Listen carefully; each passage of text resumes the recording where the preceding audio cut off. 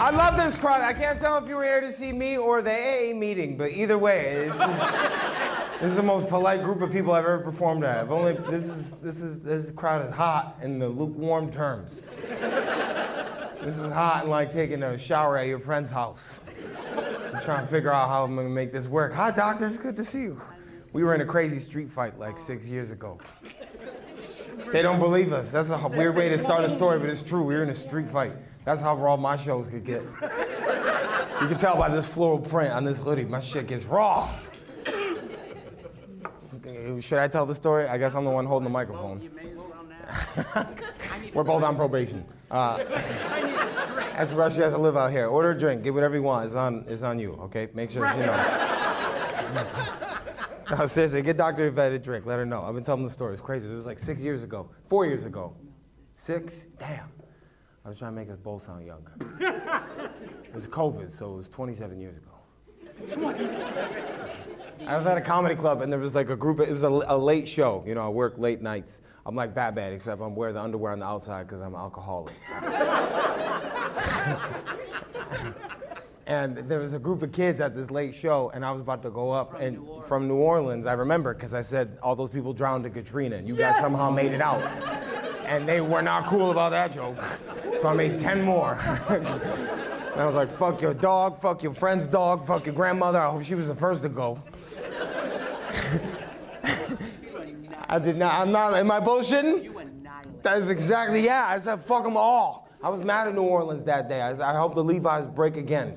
I, I wear Wrangler jeans only. And then I go outside and, and they're all trying to, to, to, fight. And I go out and, and there's, a, there's a Spanish bartender who goes up. He's like, the, you remember? He looked like the Boston Celtics mascot. He's like this tall, but he's packing those motherfuckers up. And it's like six white dudes. They're like, come on, man, yeah, I'll call my dad. and I'm like behind him. And they're like, yeah, get six more dudes. It'll be a fair fight. I just watched a Clint Eastwood movie, so I thought I was tough.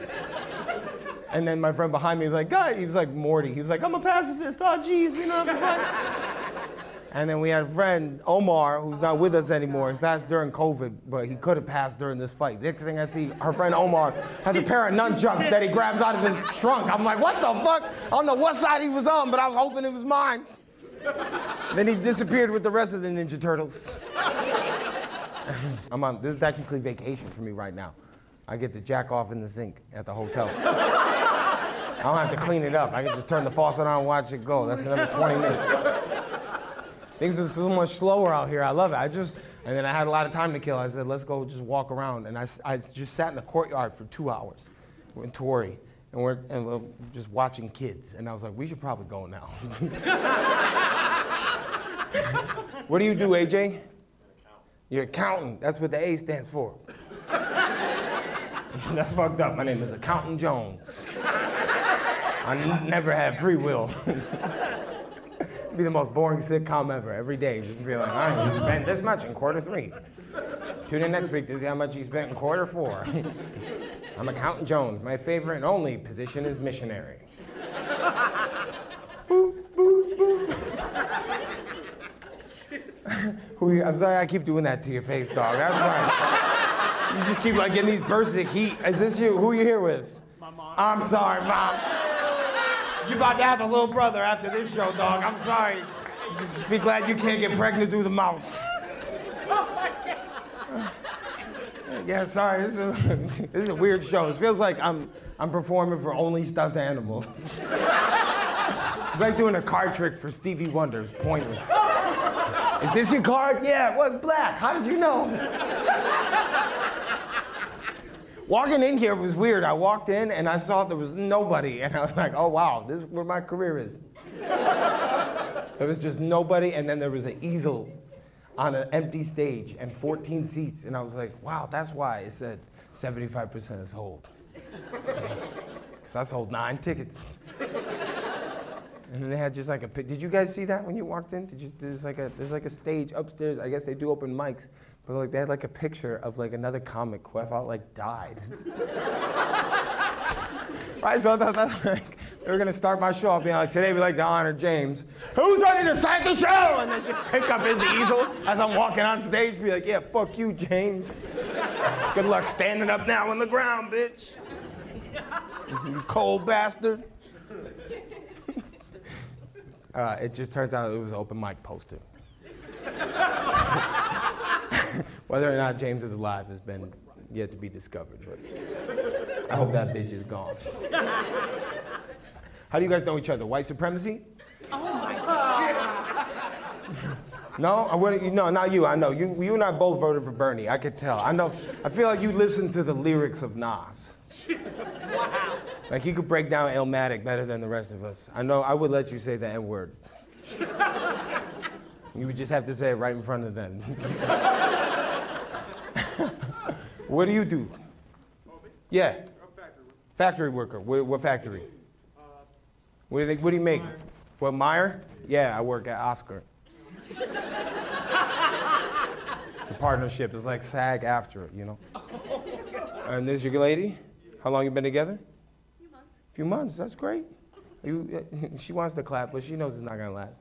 I'm kidding. I just went through a breakup, so everything is death to me. I've been doing that sometimes. I've ruined people's joy. I'm like, oh, you enjoy while it lasts, motherfucker.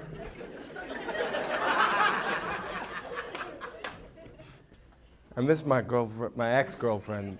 I miss her dog. Except when she she kissed it on the mouth. Humans just sit there and take it. They're like, oh, so cute.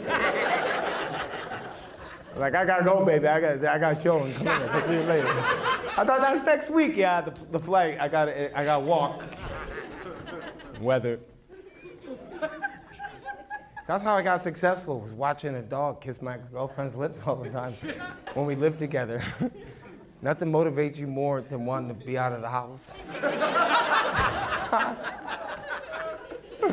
I would come home at 4 a.m. and she's like, "You're not tired?" I'm like, hmm, "I am, but not sleep-wise.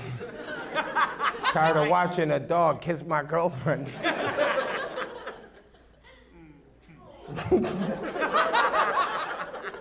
that lull was called reality. Some of you here with your significant others have also shared kisses with the dog. I can tell. You can get that kiss on the lips, you taste, you can smell the kibbles or bits. smell like sausages. Fuck it. I mean, does anybody have any questions for me? I, I know you guys, some of you guys are getting your checks. You're like, damn, the show wasn't that funny, man. He just shit on dogs. if you have a question, you can shout it out for me. I like answering questions sometimes. Sometimes it makes for a good clip. Sometimes it makes me want to kill myself. what happened? You don't like my dog either. What, what kind of dog? Pug? No, I have a French bulldog. French bulldog. That's a you know that's all right. That's like a, a white rapper. If you do like, you know, you do like two good albums, I'll fuck with you. You know, like French bulldogs are like the M&Ms of dog communities. You know. Who else had it? Any any other any other questions? You're like not after what you just did to that one. My favorite dog, Snoop. S N double O P, Diggle double G. I had a Boston Terrier when I was growing up. I liked him a lot, man. I, he was black and white, just like me. I, yeah, they, yeah, I know. Why, why, where do you think these jokes come from? Life experience. My dog was a G. His name, my dad let me name him when I was four. His name was, was Peter Parker Spider-Man. and that's what all my passwords were for the longest time. Parker. Now I gotta change my passwords. I just fucking told you. I loved Parker. Parker was gangster man. He, he, he, he would hump everything he saw. I didn't know till I got the sex talk that he was doing that. I thought we were just dancing.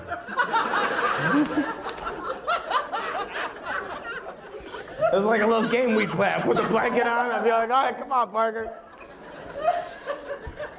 Why is this blanket sticking to me now, Mom? Look.